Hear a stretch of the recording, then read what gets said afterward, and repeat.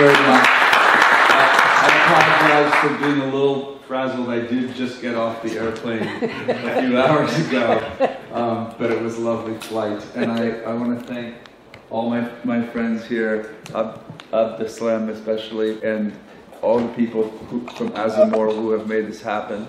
And I want to apologize that I speak neither Arabic nor French.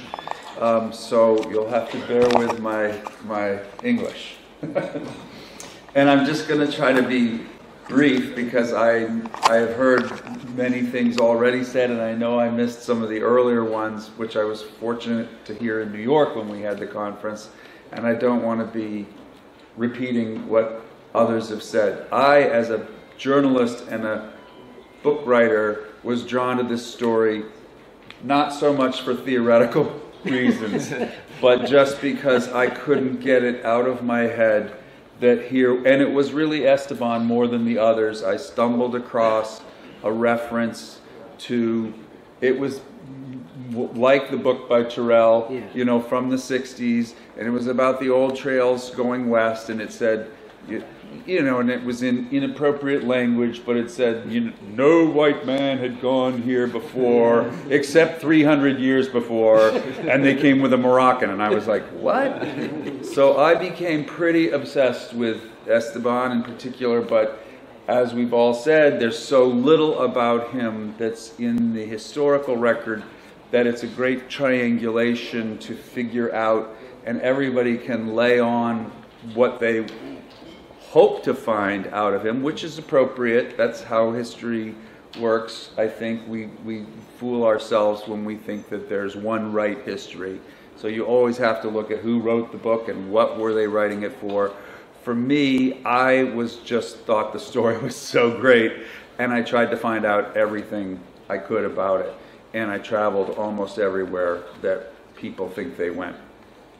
But to not be redundant, I'm going to just stray a bit and talk about what really I think I was able to add to the popular historical accounts, which was I really dove into what do we know about the Native American groups that they lived with. And I won't really talk so much about the Zunis because you, you know them even better, and that's the end of the story. But I'll just say a few quick words about Native America, uh, the Native America, one of the greatest gifts also of Esteban and his three um, compatriots, uh, well, the three fellow survivors and the accounts that they left is, as was referred to, most accounts of traveling through native North America are 150 years later or 200 years later after these diseases that, this, that the Europeans and Africans had brought to the Americas. So this is really the other thing that I loved about this story because I was a travel writer before I became a history book writer was these guys were like tour guides to traveling through North America in the 1520s. Very, very early on to have or any kind of written account. Um, granted, they were not written by by Esteban himself.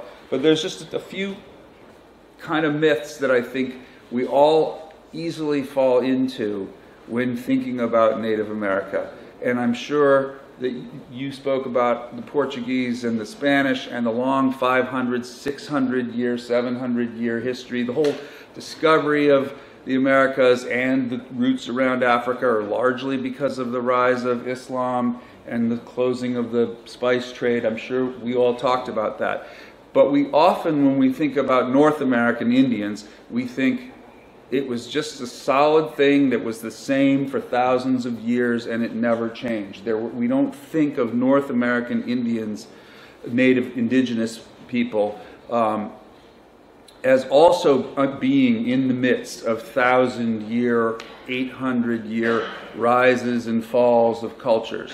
And in fact, one of the things I discovered in that book and in another book, even more, that I wrote about the Mississippi River, is of course, indigenous Native Americans are human beings with, who have been there for 20,000 years, and there are massive cultures that have come and gone risen and fallen.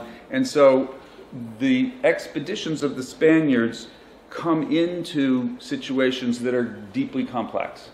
And Cortez's success in Mexico is precisely because the Aztecs and their neighbors were not happy with each other. Um, Cortez himself, you never hear this when you read the sort of 1950s versions. It's all, oh, he had horses and 400 brave men and he toppled, you know, the greatest civilization in North America. But if you read his own account, he says we had 10,000 allies from the coast, from down on the coast. I mean, they, they knew what they were, how it worked. And so that's, that's one myth that I think we need to quickly just remember. And the, the, in, in, in the case of Cabeza de Vaca and Estebanico and the other two, or the other 500, um, they did come into, when they get to the north of Florida, they encounter this group called the Mississippians. It's a cultural group. It's not a single form, uh, you know, they're not all allies. But it is a culture that grew to be the biggest culture in Native American history before, Native North America, before all the diseases. And they had cities up in St. Louis that were larger than Paris at the time, these mound cities that they built, the most famous of which is Cahokia. And these Native Americans of North America, this gets to a sort of second myth that's more about the conquistadors who came to North America. Because Cortez was so successful and Pizarro was so successful in South America, usually the stories that are told by Europeans and, and, and Anglo American, uh, whatever, by most historians until relatively recently, is that well, these guys who went to North America just they weren't as good at being conquistadors. They were bumbling idiots. They were, you know, it was De Soto and Coronado was lovesick and blah blah blah. And what's missing in that version of the story is these guys were actually very seasoned. Narvaez was the conqueror of Cuba. He was the conqueror of Jamaica. Well, not, uh, not as much Jamaica, but you know he was in line. Whatever. He was no bumbling idiot, and he knew he had a string of bad luck. Ditto with De Soto. But the point is, these Mississippian Indians of North America made short work of three, really four, if you throw in Ayllon, who, who came to the, the uh, North Carolina coast, made short work of these, of these vaunted conquistadors.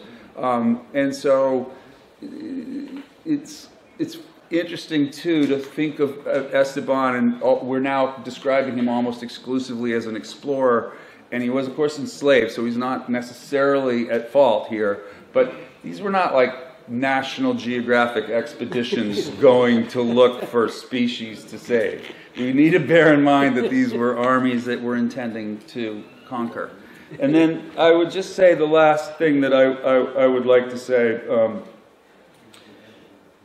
well, I would also, I think it, it's important to say that Esteban is, at best, the second greatest Moroccan explorer. We cannot forget Ibn Battuta, or however we say, yeah, you know. But if you put the two of them together, because he was about hundred years before, you have Moroccans getting all the way from China to Mexico, to, to you know, all the way around the major continents within a hundred and hundred or so years of, of each other. He's amazing. I know he's not from this beautiful town, but and lastly, because I just want to um, be brief and, and, then I'm happy to answer uh, any questions. Uh, the, the, two, lastly, this is kind of a joke. The last two things I want to say, and they really will be, are two more sort of myths about, um, about I don't want to say myths, but just assumptions that we often start with when we think about Native America at the time of, at the, time of the arrival of Africans and Europeans.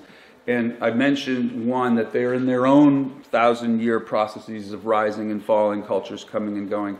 The second, I would say, especially in, in North America, is we have this idea that they didn't really know what was going on and they were surprised that horses and, and black people on horses or with other people on horse, you know, by the time those guys arrived in Florida, the Floridians knew darn well what was going on in Cuba and everywhere else. In fact, Ponce de Leon, who was even before them, he arrives in Florida and meets a Spanish speaking Native American. So it, it's, it's a little bit like, you know, like the pilgrims arrived and found English speaking Indians. The Native Americans knew what was going on pretty quickly because it was pretty brutal and they were refugee zones.